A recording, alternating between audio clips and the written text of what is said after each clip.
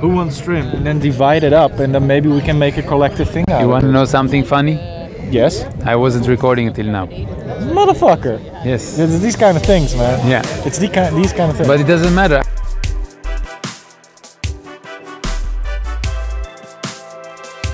Cool. So I'm here with uh, my buddy Rob, and we're at the 710 event. yes, man. And I only like two days ago, I re- uh, like I read, I, I was like 710. What's what's that about? Yes. And then if you turn it around, it's like Then it 710 makes all becomes oil. Yeah, yeah, yeah. I don't know, man. They could have come up with something better for hash, no? Yeah, Or but it's in, the, it's in the same spirit as 420, so it's more recognizable for us. Uh, it's like in the same line of code.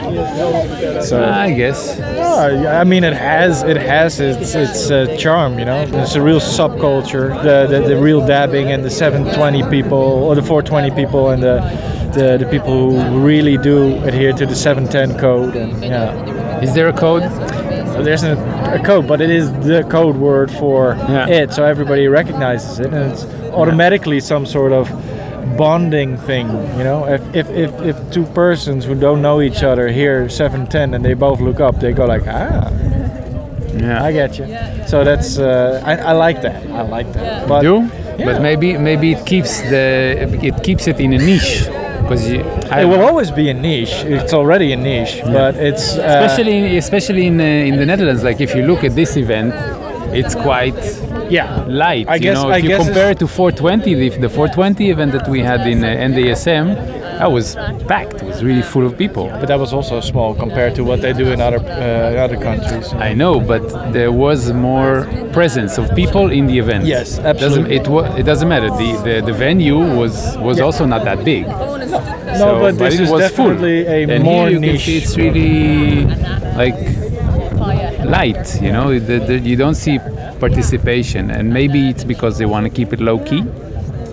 Yeah. don't want too many people to come because what it- we're doing here is not exactly uh, legal. Let's just say that. You know, Yeah, that's true. That's true. Although that's going to change pretty uh, soon too. think.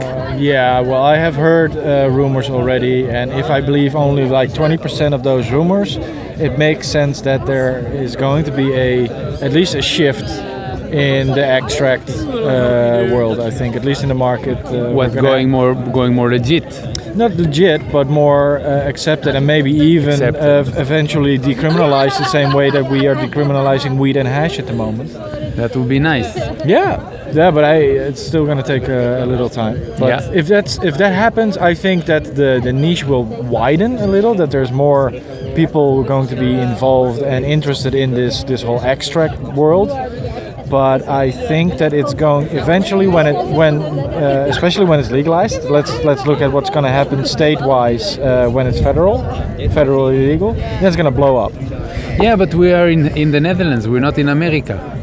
I know. So here, people, I, I No, don't but the know. I trend don't always if, if the follows four years behind. Yeah. So it's going to come here anyway, and it's going to come here. But in- there needs to be an abundance of, of raw material to be able to do Yeah, that. That's yeah. why it's like that in the, in, in the US. There No, is an that's abundance of raw true. material. There is more of a scene outside of Amsterdam, like the center with the tourists with the high prices. Is there more? Uh, Well, this this right here, this is this is very outside of the tourist scope.